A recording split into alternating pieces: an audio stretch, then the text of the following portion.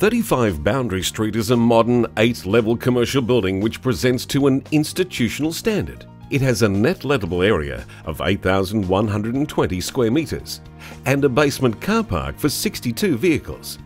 The building is fully leased to international and national companies, including MWH Australia Proprietary Limited, Parmalat Australia Limited, and Dialogue Proprietary Limited.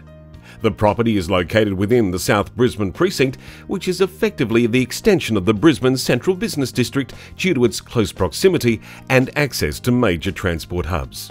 For these reasons, South Brisbane is one of the strongest performing commercial precincts outside of the CBD. The building has been designed to ensure open plan floor plates, which benefit from good natural light and view corridors. The property is in an elevated position and is easily identified from parts of the CBD and surrounding areas.